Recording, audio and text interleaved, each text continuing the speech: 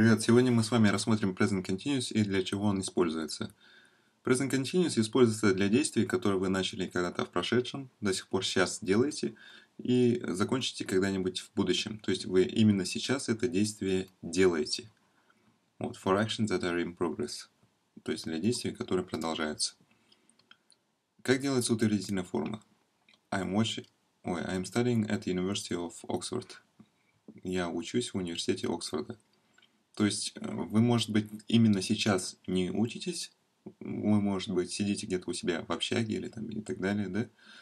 Но то, что вы учитесь в этот период, то есть там три года или год, то есть то, что вы начали где-то в прошедшем, сейчас вы там и закончите это в будущем, означает, что вы находитесь в процессе этого действия, то есть в процессе учебы.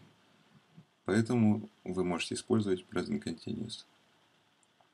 И вот как делается утвердительное предложение. Берется subject, вот I, берется вспомогательный глагол, M is R, в данном случае это N, и берется сказуемое, studying.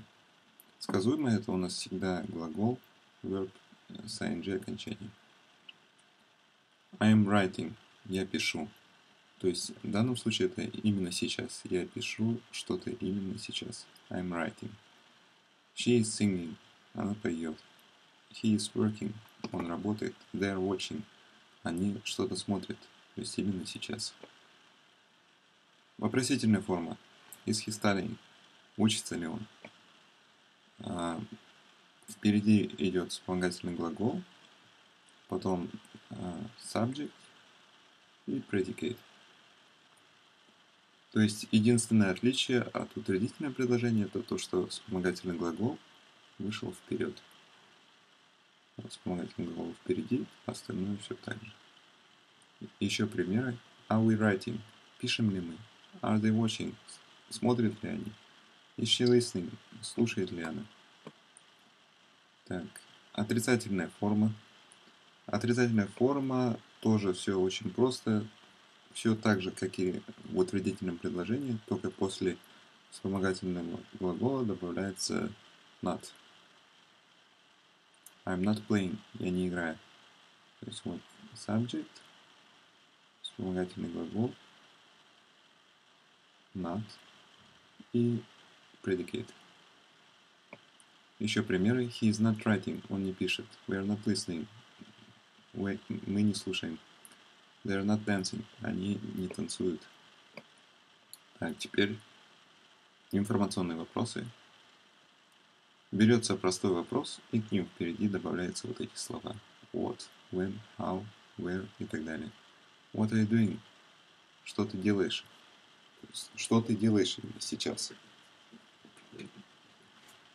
И еще примеры. When are you leaving? Когда ты уезжаешь? What are you listening? Что ты слушаешь? Where is he going?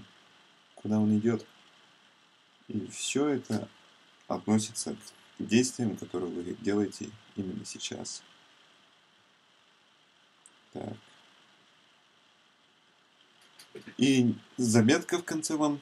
Если а, he, she, it, тогда вспомогательный глагол is. Если we, you, they, вспомогательный глагол are.